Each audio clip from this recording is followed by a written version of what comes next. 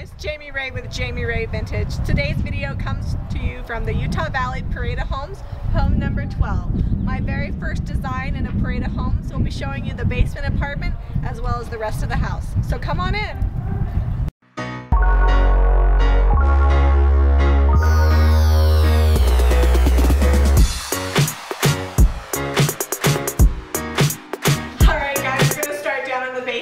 The part of the home that I designed. You'll notice my awesome footwear. If you come see this house, you will get some booties just like this.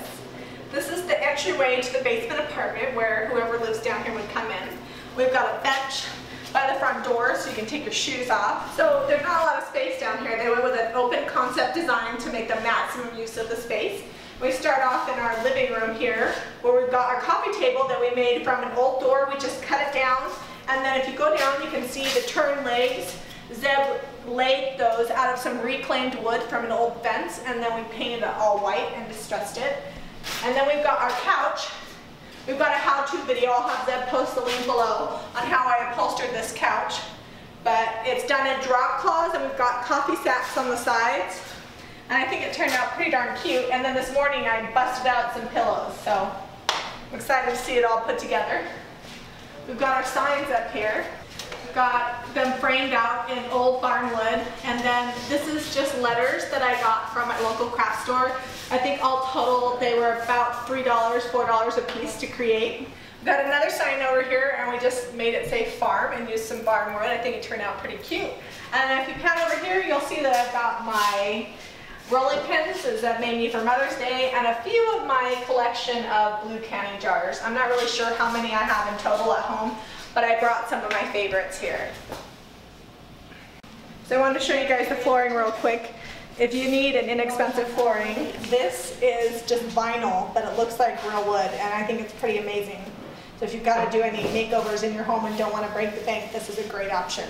Okay, we'll check out the bathroom here. We've got these awesome signs in case you forget you need to floss, brush, wash. That's what we're doing here. And then we've got this amazing light fixture that's obviously broken. Looks like it's missing one of the things on there. So in the shower, to save some money, instead of using tiling, they've actually used a background surround that looks like tile. So unless you get up really close, it's a great money saving option for a bathroom. I think it looks pretty awesome. And in case you need to go to the bathroom, you have to go before you get here because they have a sign. Do not use toilet. This basement apartment boasts two bedrooms, the first of which is this master bedroom. And in here we have an old door that we turned into a headboard, so added some molding to the top to add some detail. And then this morning he came up with these awesome side tables. So I'll kind of tell you what they were to begin with. The base is the base of an old candy machine and the tops are just drawers flipped upside down and then we painted them and sealed them to give us a great look. Luckily we're hoarders so we had it in our garage and it came together pretty quickly. This is probably my favorite piece in the whole entire basement that we decorated. It's an 1850s dresser. It's got square nails and all. We decided not to paint it and just touched it up and oiled it to give it the nice natural patina that it already has.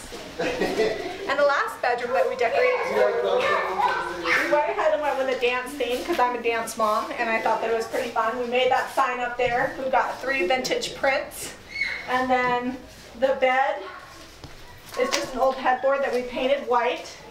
And then we have this cute little vanity over here. Let me pull out the chair so that way you can see the fabric that's on it.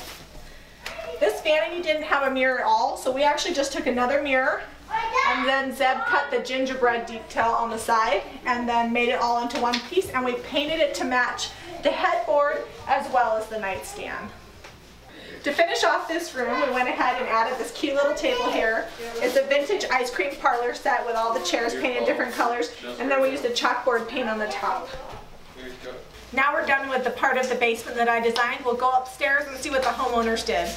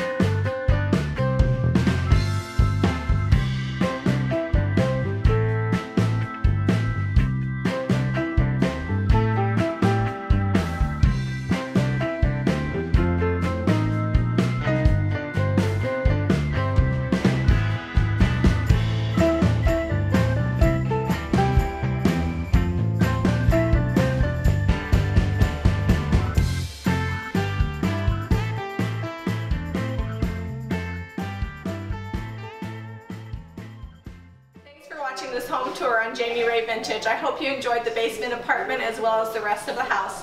Be sure to give us a thumbs up and subscribe to Jami Ray Vintage for more DIY.